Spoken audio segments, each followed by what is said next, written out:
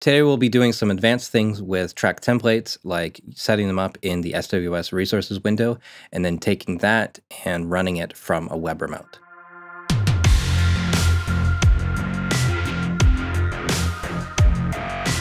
All right, so this is going to have a few different parts.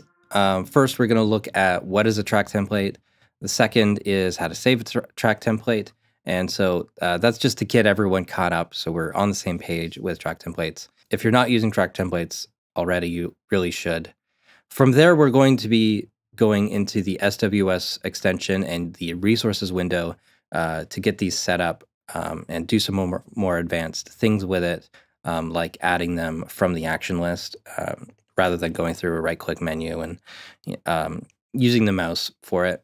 And then we're going to go into Reaper WRB, Web Remote Builder, and um, set that up so that from my iPad, I can uh, load in different virtual instruments and things like that. So we're going to start off with what is a track template? So a track template, I'll just load in one in here manually from right clicking here, insert track from template, and I've got some different folders. So here's one, basic track folders. And so that loads up several different tracks with uh, a specific name, specific input, a track layout, a specific color, um, all these things that I like to have saved. And in the mixer view, I don't have any effects on here, but if I had effects, they would be inserted there. If I had any plugin parameters shown, they would be there. If I had sends to any of the other tracks that are within that same uh, track template, um, those that routing would be there. So I'll show you another example after I delete these. So I'll right click again, insert track from template, and here's one for Steven Slate drums.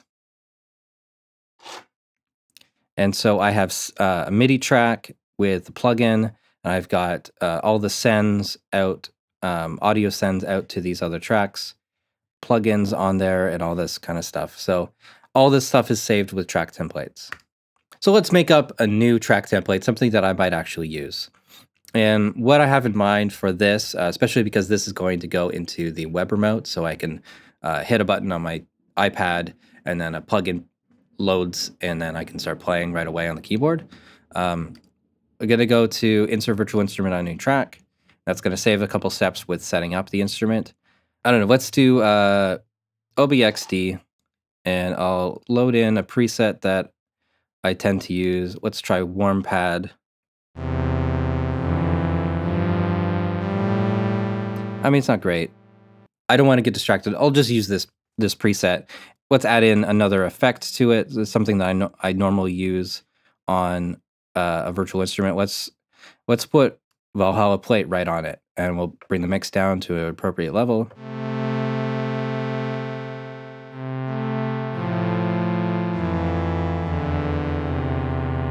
Sure, and maybe a bit of modulation from MicroShift and I'll set the mix to about 50%. Sounds great.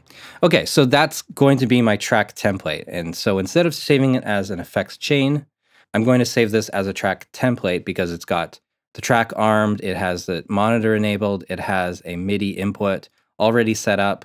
I could set a color, so I'm going to use my shortcut for setting a color. Sure. Going to right click on the track to save this as a track template. Save tracks as track template. It'll ask you where you want to save it. So I want to save this into my instruments folder. You can have as many folders as you want inside here. I think you can only go one deep with the folders, and we're going to call this OBXD. You can optionally have uh, track items like MIDI items are in here or envelopes on the track. So I'll just save that. And let's do one more. Insert track from, or insert virtual instrument. I'll take uh, Podolsky and I'll go to the presets and I'll take one of my favorites here. All right, that's a cool one. I'm going to use that one. Maybe I'll put in an EQ in here as well. So cut off the lows just a little bit.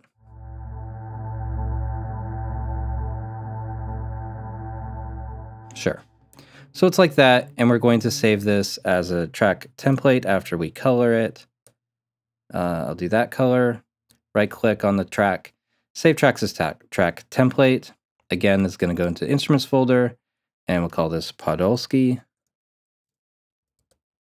So, so far we've looked at loading a track template from the right click menu, insert track from template. That's also in the insert menu, um, track from template, and how to save a track template.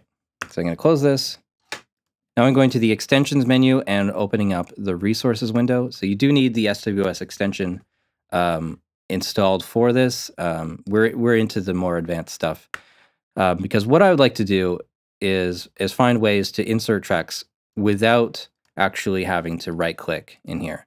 And this is a function that's only available inside of the SWS resources window. Resources window is just you can set up um, basically actions for the effects chains, track templates, projects, media files, images, and different themes. And so you can load these things on demand. So track template is the one is the page that we're going to be on. And I'm going to add in one more slot so I've got nine slots here. number eight, I'm going to um, do load slot slash file. And it's going to bring up the track templates window, instruments, and I'll do Podolsky. And then here, uh, load slot uh, slash file. We're just going through this pretty quickly. You can explore this window on your own. Um, but just for the purposes of getting this into my uh, tablet, this is all I need to do. So now I've got eight or nine slots of track templates that can be loaded. So if I'm running it from here, I can just double click on the number and then that's going to load it in there. But I don't want to have this window open. Um, once they're in here, they will also be in the action list. And so we're going to look for track template and slot. And then in here, there's all these actions for what you could do with track templates uh, based on the slot number in the resources window. My maximum number here is 32, but the default is going to be 4. And in a minute, I'll show you how to get all those numbers. But first, let's look at what you can do with these actions. So let's say we want track 9 or insert number 9. So we're going to be looking at, let's just sort this by 9. So there's all these different actions. You can apply the track template plus envelopes and items to selected tracks, apply the template to a selected track, or import a track from the track templates. The actions that we want to use to get into the web remote are the import actions, not the apply. So apply will work on a track that's already inserted. So I'll just do that now. I'll run that. And so there, that track was blank before, and now it has all the attributes of that saved track template. And what we're going to be using uh, to go from an empty track or from no tracks inserted to the track that we want um, is the import tracks from track template slot 9. And so that's going to look like that. Adds in a track, arms it, puts in the, the instrument, gives it a MIDI input. The last uh, focused effects is going to be visible there. All those sorts of things are going to be saved along with it. To actually get that many slots in the SWS resources window, we need to open up um, Reaper's resources folder. So go to the options menu, show Reaper resource path in Explorer slash Finder, and this will work on Mac and PC. I'm on a Mac, obviously, so is going to look a little bit different, but you're going to get to the same folder on, on Windows. When you have the SWS extension installed, you're going to have this snm.ini file. You want to open this up with a plain text editor or an editor that's made for writing code and things like that line 60 or thereabouts should be SNM add track template equals, and then it's going to say 4. I just set all of my slot numbers to 32. I think 32 is plenty. To get to this, just search for uh, track template or slot, and it should jump down to this section here. Uh, Command F, and we're going to look for uh, uh, template, and so it brings you up to there. Set it to 32 save the, the file, uh, restart Reaper, and then in the action list, you should have more than four slots um, in the resources section.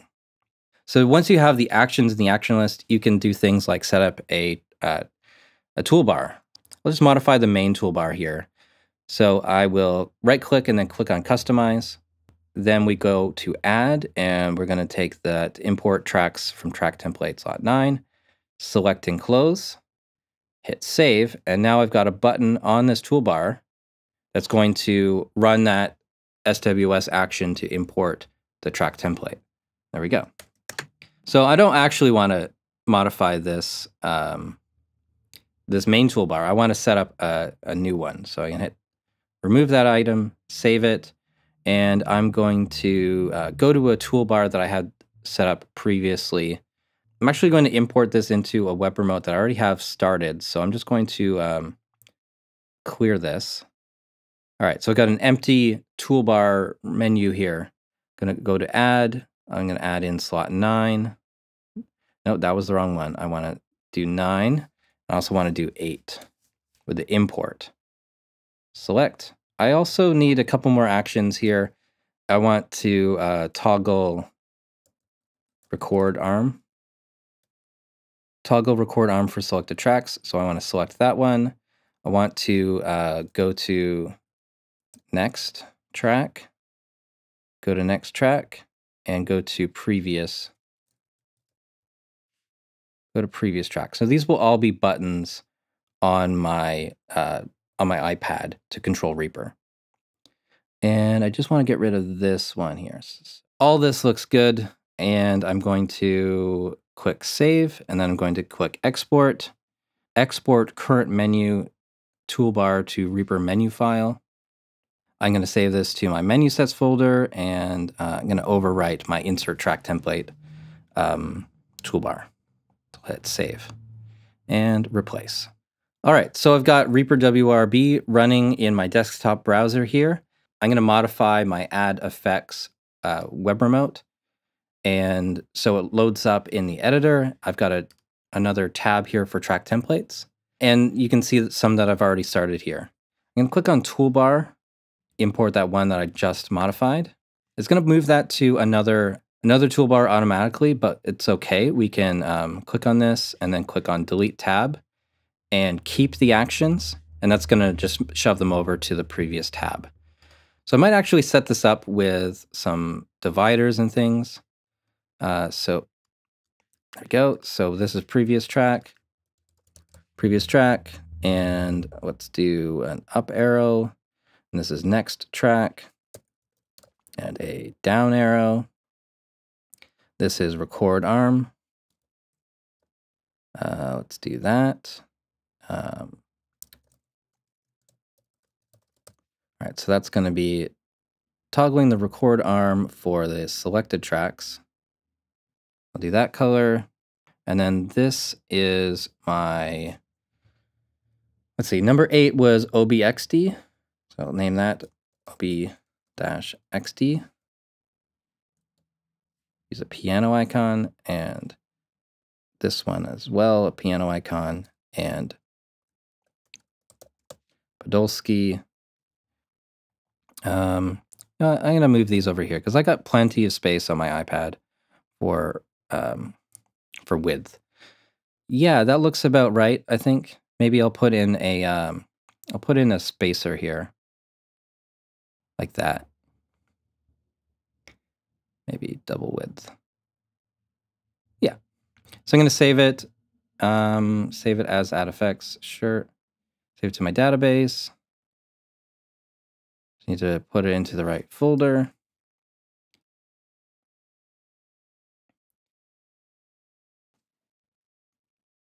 All right, so now when I go to add effects and I go to the track templates page, I've got my saved web remote. Um, and now I'm gonna go over to my iPad and we'll see if this is working. All right, so I'm here with my iPad. This is a iPad uh, Air 3. And so I'm just gonna refresh this page by tapping on the uh, Reaper WRB logo. I'll click on the add effects. I got a track templates tab here and I can see everything is how I left it. So let's do, uh, let's put in my basic track folders and I'll put in my favorite effects. And that's a bigger template, so that's going to take a little while. And I can uh, I can do track selections here. And so let's say after my keys bus, I'm going to insert OBXD, and I'll put in Podolsky. And I think I got those those uh, the names backwards on that, uh, but it's all good. And I can toggle the record arm of that one and that one. Uh, let's turn that one on and play it. That works.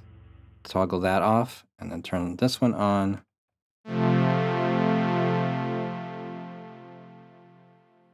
I can also insert expand and I've got uh, four MIDI tracks. One of them has the plugin on it. I've got a folder um, for uh, keeping that all organized. And yeah, so I can record on three tracks or four tracks and it comes out stereo. So that's all I wanted to show you. I think this is a pretty cool thing to do. Uh, good use of the web remote, I think. Once you have this set up, you can kind of be away from the computer a little bit and uh, and just focus on composing. This idea came from Dan Stanley. Uh, he uh, he was having some trouble with the SWS resources.